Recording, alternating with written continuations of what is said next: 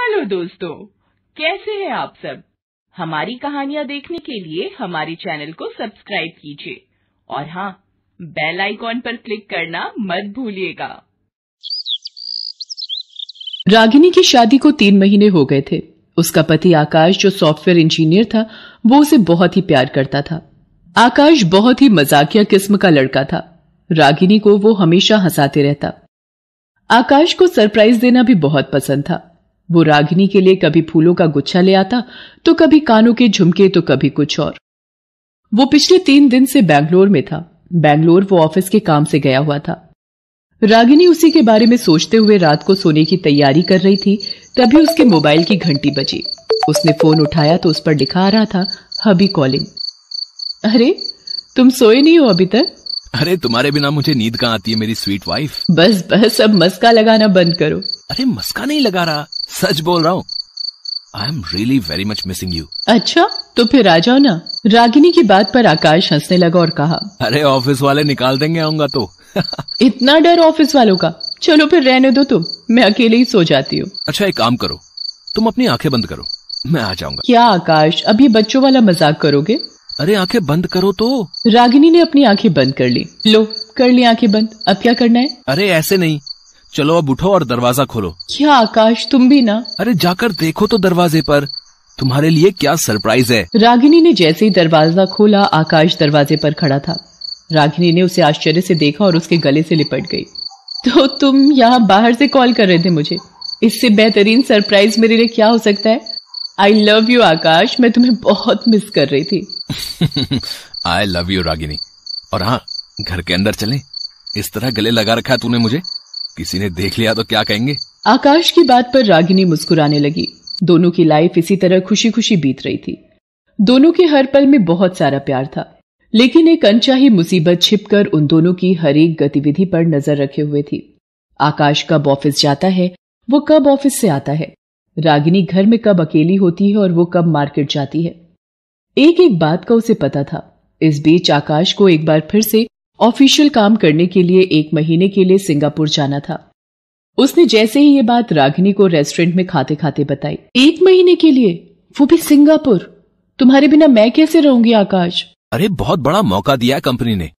जानती हो, अपनी कंपनी सिंगापुर में अपना ब्रांच खोल रही है। और सारी की सारी ज़िम्मेदारी मेरे ऊपर है। सब कुछ सही रहा तो मेरा प्रमोशन तो होगा ही। अच्छी खासी सैलरी भी बढ़ जाएगी। वो सब ठीक है आकाश लेकिन यहाँ तुम्हारे बिना एक पल भी नहीं कटता। एक महीना कैसे काटूँगी? ठीक है तो मैं मना कर देता हूँ ऑफ़िस वालों को। हम्म, नहीं जाओ। नहीं तुम जाओ मैं मैनेज कर लूँगी। ये कहते हुए रागिनी ने आकाश को गले लगा लिया। आकाश को सिंगापुर गए हुए एक सप्ताह हो गए थे। वो नियम से हर दिन उसे कॉल करता और कहता कि वो जल्द ही काम खत्म करके आ जाएगा। एक रात की बात है। रात के बारह बज रहे थे तभी रागिनी के मोबाइल की घंटी बजती है। पहले तो रागिनी को लगा कि वो सपना देख रही है लेकिन मोबाइल की घंटी लगातार बजती रही तो उसने नींद में ही फ़ोन उठाते हुए कहा "हम्म, तुम्हें नींद नहीं आ रही मेरे बिना? नहीं रागी मुझे तुम्हारे बिना नींद नहीं आ रही है। बहुत याद आ रही है तुम्हारी। बोलो तो आ जाऊँ। रागी ये शब्द सुनते ही रागिनी की नींद काफूर हो गई। वो हड़बड़ाकर बिस्तर पर उठ बैठी। उसके दिल की धड़कन ज़ोर ज़ोर से धड़कने लगी। उसके माथे पर पसीने की बूंदें आ गई। उसने घबराते हुए फ़ोन पर पूछा, "क- क- कौन? कौन बोल रहा है? अरे, रागी, इतनी जल्दी भूल गई मुझे। कुछ ही महीने तो हुए हैं तुम्हारी शादी को। कुछ ही महीने में तुम अपने पुराने प्यार को भूल गई। उस प्यार को, जिसकी बाहों के घेरे में तुम सबसे ज़्यादा महफूज महसूस करती थी। जिसके साथ तुमने जीने मरने की कस्में खाई थी। This is not fair ragi this is not fair Ragini का दिल अभी भी ज़ोर ज़ोर से धड़क रहा था। उसके होंठ काँप रहे थे। उसके शब्द लड़खड़ा रहे थे। उसने अपने कांपते होठों से कहा "दि- दिवाकर तुम? चलो तुमने मुझे पहचाना तो। मुझे खुशी है। तुम्हें अब भी मेरा नाम याद है। दिवाकर तुमने मुझे फ़ोन क्यों किया? और तुम्हें मेरा ये नंबर कैसे मिला? अरे हम आशिक कुत्तों की तरह होते हैं। सूंघ कर सब पता लगा लेते हैं। और तुम्हें तो पता है कि मैं तुम्हारा कितना बड़ा आशिक हूँ। दिवाकर की इस बात पर रागिनी भड़क गई। दिवाकर मैं एक शादीशुदा लड़की हूँ। तुम्हें शर्म नहीं आती मुझसे ऐसी बातें करते हुए?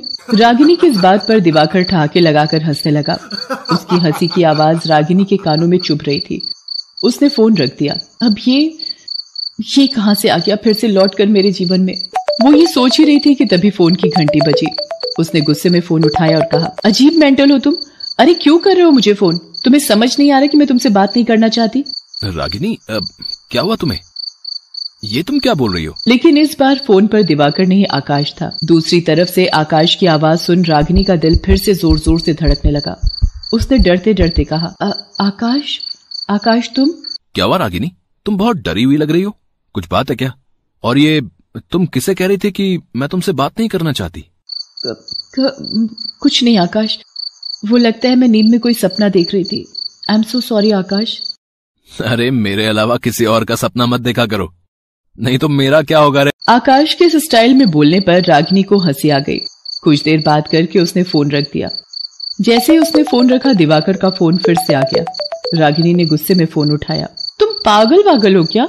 क्यों कर रहे हो मुझे फ़ोन? तुम मेरा पास्ट हो पास्ट अब मैं शादीशुदा हूँ इसलिए प्लीज़ मुझे तंग करना बंद करो। ये कहकर वो फ़ोन काटने वाली थी कि दिवाकर ने कहा।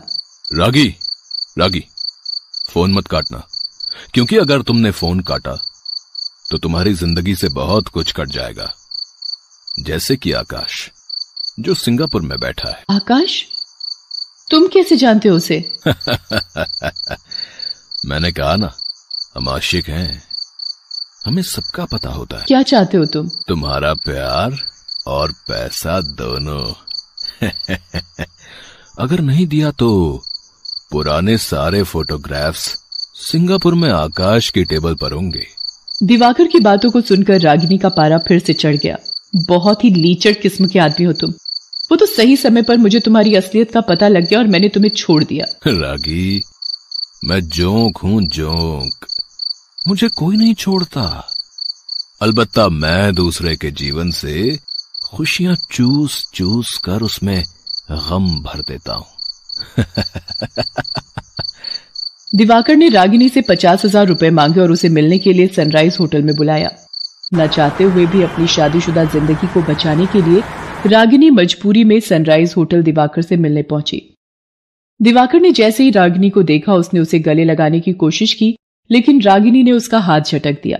ये क्या बदतमीजी है? दूर हटो मुझसे। बदतमीजी नहीं ये मेरा प्यार है। अपना प्यार तुम अपने पास रखो मैं शादीशुदा हूँ। अरे शादीशुदा हो तो और भी अच्छा है ना? आराम से दोनों प्यार करेंगे। तुम्हारे आकाश को पता भी नहीं चलेगा। चलो अब तड़पाओ मत। गले लग जाओ यार मेरे। दिवाकर ने रागिनी को फिर से गले लगाने की कोशिश की।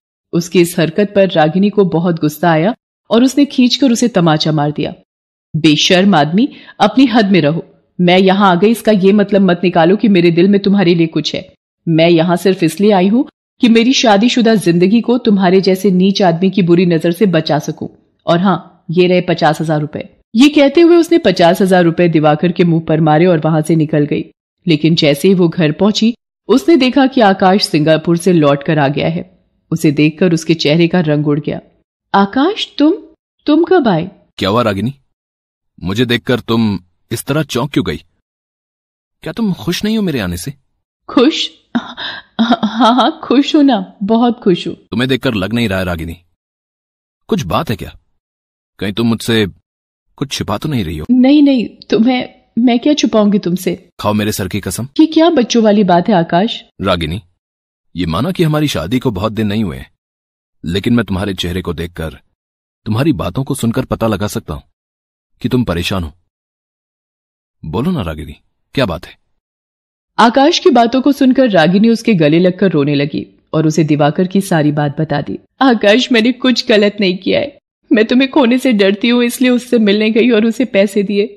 मुझे माफ़ कर दो आकाश मेरे पास कोई ऑप्शन नहीं था। रागिनी तुम्हें मुझे ये बात पहले ही बतानी थी लेकिन कोई नहीं। तुमने मुझे सब कुछ सच सच बता दिया। यह बहुत बड़ी बात है। देखो रागिनी पति पत्नी का रिश्ता विश्वास पर टिका होता है और ये विश्वास है तो छोटा शब्द लेकिन सारी कायनात इसी पर चलती है। वो ये बात कर ही रहा था कि दिवाकर का कॉल फिर से आ गया। आकाश ने इशारे में रागिनी को कहा कि फ़ोन को स्पीकर मोड में कर दे। रागिनी तुम मुझे थप्पड़ मारकर तो आ गई लेकिन तुम्हें पता नहीं है कि इस थप्पड़ की कीमत क्या होने वाली है? मैं तुम्हारा हंसता खेलता परिवार बर्बाद कर दूँगा। तुम्हारी सारी फ़ोटो आकाश को तो जाएँगी ही। इंटरनेट पर भी उन्हें वायरल कर दूँगा। तुम्हें जो करना है कर लो, दिवाकर। लेकिन हमारा परिवार बर्बाद नहीं होगा। क्योंकि जहाँ विश्वास होता है ना, वहाँ तुम जैसे दुष्ट अपने मंसूबे में कभी कामयाब नहीं होते। और हाँ तुम्हारी सारी बातें रिकॉर्ड हो गई हैं और तुम्हारा चेहरा बेनकाब हो गया है। और अब इस चेहरे को पुलिस सबके सामने लाएगी। समझ गए? दिवाकर को उम्मीद नहीं थी कि वो अपने जाल में खुद फंस जाएगा और आकाश रागिनी का सब कुछ जानते हुए भी साथ देगा। बहरहाल पुलिस ने दिवाकर को ब्लैकमेल के जुर्म में गिरफ़्तार कर लिया और उसे जेल भेज दिया।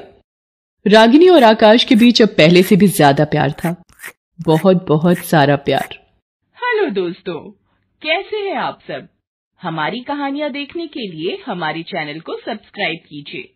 और हाँ बेल आइकॉन पर क्लिक करना मत भूलिएगा।